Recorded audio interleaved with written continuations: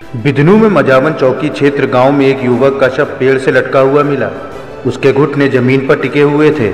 घर वालों ने हत्या की आशंका जताते हुए गाँव के एक युवक पर आरोप लगाया है। विदनू मजावन चौकी क्षेत्र गुरुपुरा शनिवार शाम से लापता अरविंद मजदूरी करता था। रविवार सुबह बाँस के पेड़ में उसका शव लटका मिला। शनिवार शाम अरविंद का एक गाँव के युवक से झगड़ा भी हुआ था। पुलिस ने फॉरेंसिक टीम बुलाकर साक्ष्य जुटाकर जाँच शुरू कर दी है। Bureau Report IPM